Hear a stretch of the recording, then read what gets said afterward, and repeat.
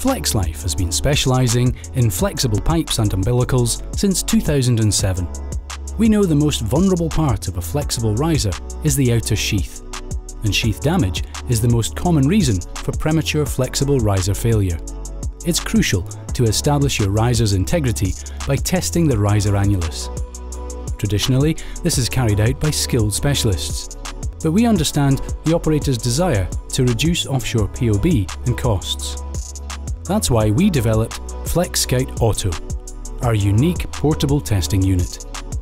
FlexScout Auto is suitable for use where travel restrictions prevent international travel, and it's suitable for use in hazardous areas. All that's needed is pressurised nitrogen and an electrical supply.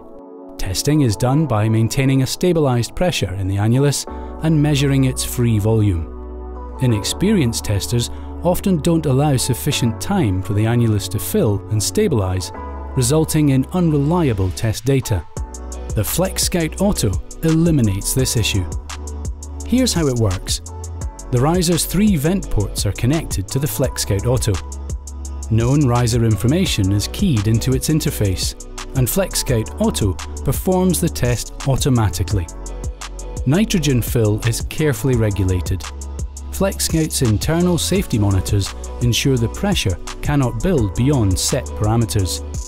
FlexLife's FlexScout equipment has been used to carry out more than 1,000 tests. It's a reliable, safe and cost-effective solution that helps you assess the service life of the riser and prolong its lifespan. Test data is output in real time for analysis by skilled FlexLife personnel, who can interpret the data remotely for you.